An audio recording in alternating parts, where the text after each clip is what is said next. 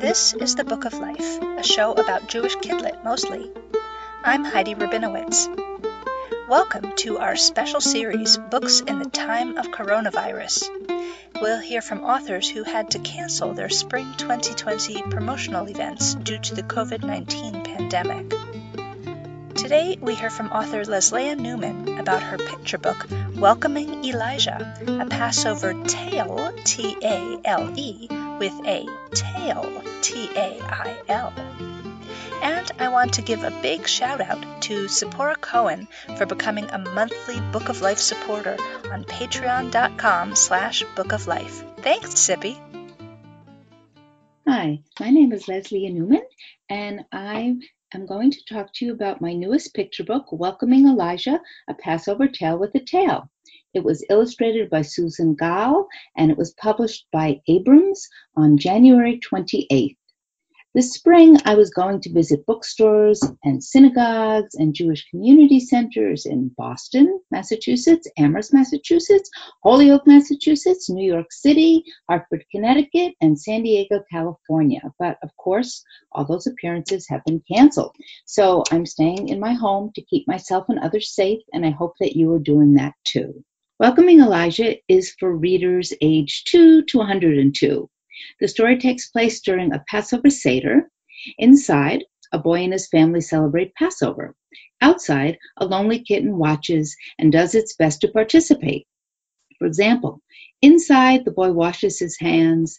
Outside, the kitten cleans its paws. Inside, the boy breaks the middle matzah in half. Outside, the kitten snaps a twig in two. And when the door opens for Elijah, well, you'll have to read the book to find out what happens, but it's something wonderful. I wrote the book as a way to celebrate and combine two of my favorite things Passover and cats. And on my tour, I would have shown readers a photo of Princess Sheba Darling, who was my inspiration for the book. She's a beautiful white cat who sat on my lap the whole time I wrote the story. You can buy Welcoming Elijah, a Passover Tale with a Tail at indiebound.org, which supports local independent bookstores or wherever fine books are sold. These days, it's very important to do tikkun olam, which means to repair the world. We could all help out. It's such an important time to do that. And I had an idea that since my book features a homeless cat, maybe we could uh, make a donation, food or money, to a local animal shelter. Thank you for listening. Sei gesund, which means be well. And please visit me online at www.lesleakids.com.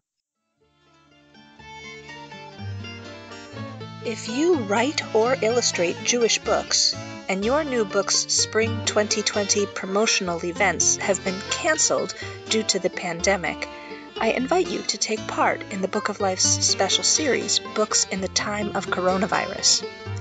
Visit tinyurl.com slash bookscovid for instructions or get in touch with me at 561 206 2473 or bookoflifepodcast at gmail.com. Listeners, you know the drill. Check out bookoflifepodcast.com for links to every way to reach me, every way to support the show, every way to get more information, and to hear every Book of Life episode since 2005, since you've probably got extra time on your hands right now.